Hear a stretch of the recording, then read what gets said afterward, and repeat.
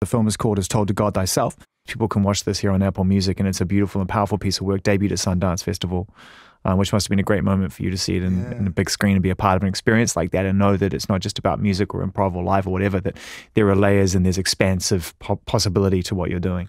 Yeah, I mean, because film is such a. I mean, music is definitely a collaborative art form, but film is like a really collaborative Definitely. art form because you really take your precious art and you hand it over to someone. and they want the trust to be able to interpret it. You, Yeah. The other thing is you can't sit there necessarily and direct the director. No, no, no, and I, and I didn't. I tried not to because I trusted them. Yeah.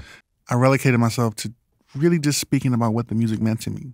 Because for me, like you create things that we see, and I want to let you create something beautiful with this.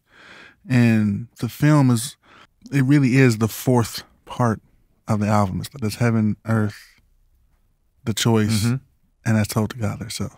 I reformulated the music in a lot of ways to fit the film, and when I did that to the music, they then wanted to change the film again, and then I changed the music again, and then, and then we start. Stop. The paradox, the paradox started. We had to like, you know, we had to like, you know, open up a black hole to pull it back out. You know, yeah. Are you sort of uh, are you sort of uh, are you open to collaboration again? Given that you've got your hands full with all the creativity that's floating around you right now, are you always is the is the door always open for you to work with people? Oh yeah, always, always. The the collaboration happens, and then a year and a half later, It comes out. it comes out. You probably didn't even know that you were on To Pimp a Butterfly until To Pimp a Butterfly came out. That's what everyone else tells me.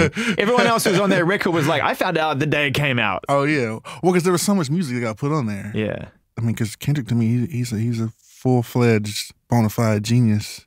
To also be so open to let us pour our whole cup into the pot. He recognized that in his own city, Yeah, this thing had been building, and aside from your own environment, which you had created, had not been tapped into from outside of that environment to bring it into a different world, right? yeah. We had all become masters of sneaking in the really cool stuff that we could do. You know what I mean? Because it's like you go to artists and they're like, they're like, I just want this little drop of what you have, and you're like, I'm gonna give you what you asked for. Mm. and I'm gonna sneak in a little piece of this thing that you really want. This is what this is what's gonna make it. Extra special, yeah. When I went in to work with Kendrick, it was like, you know, I never get tears like, nah, man, you don't have to sneak it in. You could just pull out the whole rock. I'm like the rock is big as the building. I can't, pull, can't bring the rock in here. Like, no, man, bring in the rock, the whole rock, that, the mountain. Yeah, bring the mountain in here. It's like. He's like, I got my mountain in here. so the Thundercat does like, this whole, I'm looking around, I'm like, oh yeah, you're right and that's cool. Like, yeah, it's cool to have someone that would allow you to really, really be your full creative self. That's how you tap into the anti. You know, that's how you tap into what you wouldn't do. Let someone else bring something that, like, oh, I wouldn't have thought to do that. You know, you've you've gotten to work with some incredible artists throughout your life. You know, to get a chance to collaborate or to work alongside someone like Herbie Hancock, what is that like, and how did that how did that leave a mark on your life? It's surreal. I still feel the need to introduce myself every time I see Herbie. Like, hello, Mr. Hancock. Uh, you may not remember me. Like, Kamasi, I know who you are. and so it's like when you when you spent so much of your life studying someone. Yeah. You know, I, be, I remember being 13, 14 years old, and just Herbie Hancock was like way up there on the mountain. Like, I never imagined that I'd be up there at some point making music with him.